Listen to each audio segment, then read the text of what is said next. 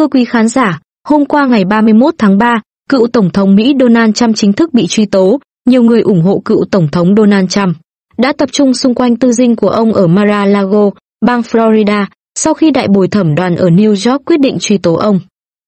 Đây là lần đầu tiên tại Hoa Kỳ, cựu Tổng thống Donald Trump bị truy tố, việc truy tố cựu Tổng thống Mỹ sẽ gây ra làn sóng phản đối của những người ủng hộ ông. Vậy những nguyên nhân nào dẫn đến ông bị truy tố, trong khi hôm 29 tháng 3, ông có buổi tổ chức vận động tranh cử Tổng thống Mỹ nhiệm kỳ 2024 đến 2028 tại Florida?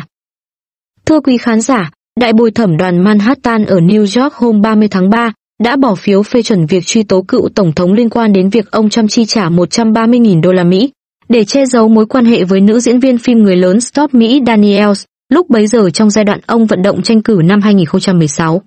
Vụ việc đánh dấu lần đầu tiên trong lịch sử nước Mỹ, một cựu lãnh đạo Nhà Trắng bị truy tố hình sự.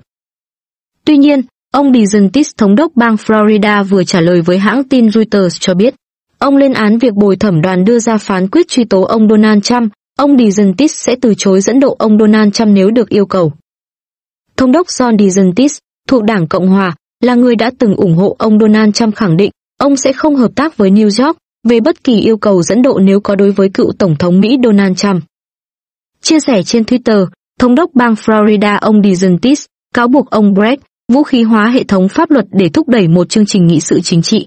Đây là hành động đáng xấu hổ khi làm gia tăng sự chia rẽ sâu sắc đối với đất nước. Ông Trump đã định cư tại Mar-a-Lago, Florida vào năm 2018. Hôm qua ngày 31 tháng 3, các luật sư bảo chữa cho ông Trump nói với Reuters rằng ông Donald Trump có thể sẽ ra trình diện vào tuần tới tại thành phố New York. Cùng thời điểm, ông Trump lên tiếng kêu gọi những người ủng hộ quyên góp tiền cho một cuộc chiến pháp lý. Cựu Tổng thống quả quyết mình hoàn toàn vô tội. Ông Donald Trump cáo buộc công tố viên quận Manhattan Alvin Bragg, thành viên Đảng Dân Chủ dẫn đầu cuộc điều tra, có âm mưu chính trị và cố gắng làm tổn hại cơ hội thắng cử của ông năm 2024. Ông Trump cũng cáo buộc ông Bragg, một người da màu có thành kiến chủng tộc, phân biệt đối xử gây chia rẽ. Theo hãng tin CNN cho biết, dự kiến trong ngày hôm nay, người biểu tình ủng hộ cựu Tổng thống Donald Trump sẽ tăng lên rất cao, nhiều lãnh đạo cấp cao của Đảng Cộng Hòa tại Hạ viện và Thượng viện. Họ đều ủng hộ ông Donald Trump, cáo buộc Đảng Dân Chủ có hành động vũ khí hóa hệ thống tư pháp, bao gồm cả cựu Phó Tổng thống Mike Pence. Ông đã lên tiếng bảo vệ ông Trump và chỉ trích quyết định truy tố khiến nước Mỹ thêm chia rẽ. Thưa quý khán giả, việc cựu Tổng thống Donald Trump bị truy tố, thì ông có được quyền tranh cử Tổng thống Mỹ vào năm 2024 hay không? Theo hiến pháp của Mỹ, ông Donald Trump vẫn có thể tranh cử dù bị truy tố, việc bồi thẩm đoàn Manhattan. Quyết định truy tố ông Trump đặt ra câu hỏi về mặt pháp lý và chính trị, khi cựu Tổng thống đang tranh cử trở thành ứng viên Tổng thống Đảng Cộng Hòa. Theo hãng tin New York Times, mọi bản cáo trạng hoặc kết án cũng không thể ngăn cản ông Donald Trump tranh cử, theo New York Times.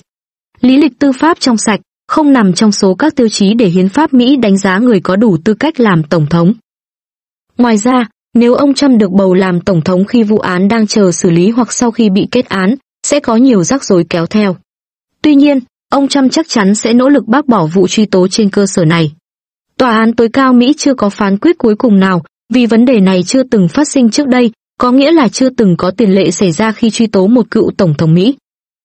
Trước đó vào năm 2021, ông Donald Trump đang giữ chức vụ tổng thống Mỹ, đã bị lưỡng viện luận tội đến hai lần, tuy nhiên cả hai lần thượng viện đều không kết tội ông. Theo bản tin Reuters, trong trường hợp mọi chuyện còn phức tạp hơn nữa, nếu ông Donald Trump bị tuyên án tù giam, nhưng vẫn được bầu thắng cử Tổng thống Mỹ năm 2024, thì có khả năng cựu Tổng thống sẽ giành được lệnh của Tòa án Liên bang, tức là Tòa án tối cao Pháp viện, sẽ yêu cầu trả tự do cho Tổng thống Donald Trump nếu ông thắng cử Tổng thống thứ 47 của Hợp chủng quốc Hoa Kỳ năm 2024. Xin chân thành cảm ơn quý khán giả đã quan tâm theo dõi.